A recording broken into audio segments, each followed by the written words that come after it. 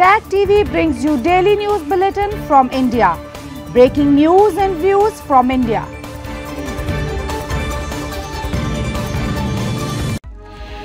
You're watching South Asian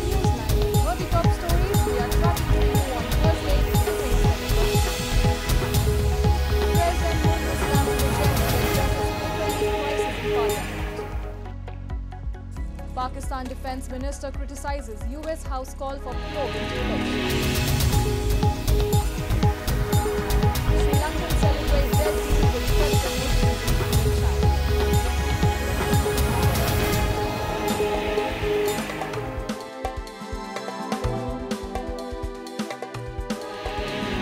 And now for all the details. Indian President Draupadi Murmu on Thursday while addressing the joint sitting of both houses of the parliament assured that the government is fully committed to a fair investigation of the recent incidents of exam paper leaks.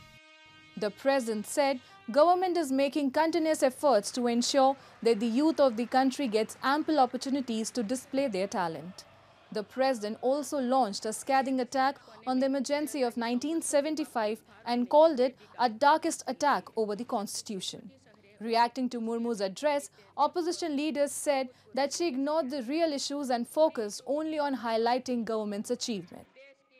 पूरे president के address में कहीं पर भी लफ्ज minority का इस्तेमाल नहीं हुआ आखिर क्यों भाई संविधान की आप बात करते हैं तो संविधान में आर्टिकल 30 में लिखा नहीं है माइनॉरिटी तो इतनी नफरत क्यों है Now, right now, let's focus on the problems of today. For example, when do we get a chance to discuss NEET? When do we get a chance to discuss the employment situation facing our young people? When do we get a chance to face the real problems affecting many of us? In my own case, I have a serious issue of coastal erosion in my constituency, and so on and so forth. There are many, many real problems. Not something that happened 49 years ago. That's not a real problem. The first session of the 18th Lok Sabha commenced on Monday and the Rajya Sabha's 264th session began from Thursday. The President's address was also tabled in the Rajya Sabha. The House will pass a motion of thanks on the address after a discussion. Security has been beefed up in Doda district of India's Jammu and Kashmir a day after three terrorists were neutralized in an encounter with security forces on Wednesday. The terrorists are suspected to be affiliated with the Pakistan-based Jaish-e-Mohammed outfit. The security forces are searching the forest area to look whether more terrorists are hiding. Senior officials said that the army and the police have stepped up their operations in Jammu and Kashmir after an attack on an army camp at Kota on night of June 11th that left six soldiers injured.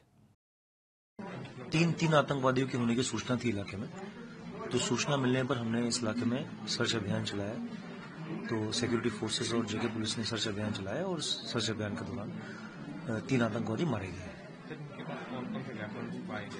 इनके पास M four मिला है और दो M four मिली है एक एक four से मिली Pakistan's Defense Minister Khwaja Asif has criticized a resolution by the US House of Representatives calling for a probe of alleged voting irregularities in Pakistan's February general elections. The vote in which no single party won a clear majority was marred by violence, communication blackouts and allegations by the party of jailed former Prime Minister Imran Khan that the polls were rigged. Khwaja Asif told local media that they have no right to interfere in our internal affairs or give any sort of verdict on the matter. He said the resolution had no value. Pakistan's Foreign Office released a more carefully worded statement saying that the resolution stems from an incomplete understanding of political situation and electoral process in Pakistan. The resolution was however welcomed by Imran Khan's party which was banned from contesting the elections. Independent candidates backed by Khan won the most seats but did not have the numbers to form a government. Instead, an alliance of his rivals formed a government led by Prime Minister Shehbaz Sharif. Moving on.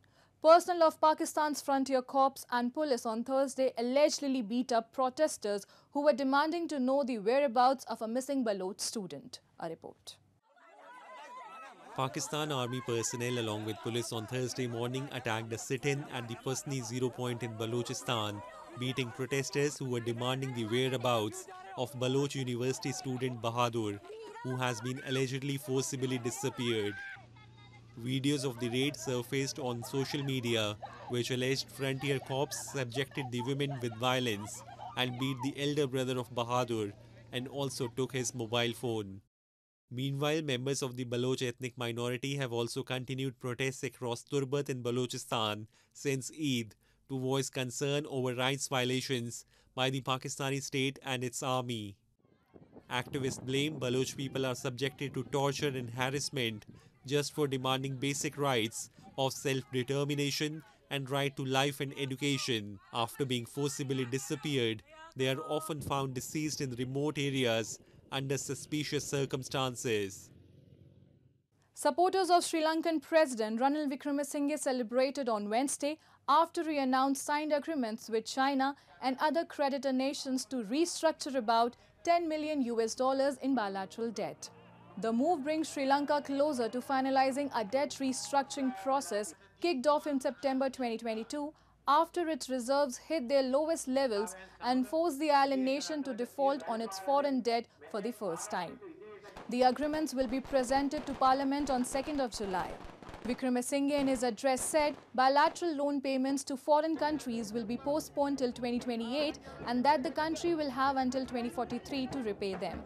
The deals will also allow Sri Lanka to move forward with a $2.9 billion program with the IMF aimed at ending its financial crisis. ඇත්තටම මං හිතන්නේ අපි දැන් මංකොලොත් භාවයෙන් නිදහස් කියලා. ඒ කියන්නේ වැටිච්ච රට ගොඩගත්තේ අපේ ජනාධිපතිතුමා තමා. සර දෙකක් තුළ මේ රටේ බංකොලොත්භාවය අයින් කරලා දාලා රට සංවර්ධනය කරා වේගවත්ව ගමන් කරන්න. මන්දගාමියොන් මේ වේගවත්ම ගමන් කරන්න පුළුවන් ගමන් මාර්ගයක් හදන්න තමයි රටේ ජනාධිපතිවරයා සූදානම් වෙන්නේ. Heavy rainfall triggered landslides and flash floods in Nepal, killing at least 11 people, with another 9 killed by lightning strikes over the past two days, officials said on Wednesday. Landslides swept away three houses overnight in Lamjung district, about 125 kilometers west of Kathmandu, killing four people, including two children, district administrator Buddha Bahadur Gurung said. In Morang district, about 500 kilometers southeast of the Nepali capital, flooding has taken the lives of four people since Tuesday, officials have said.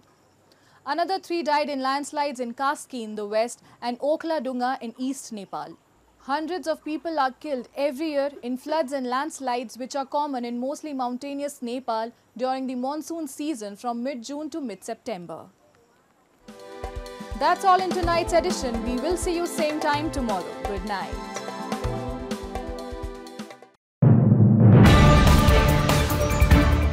Tag TV brings you daily news bulletin from India. Breaking news and views from India.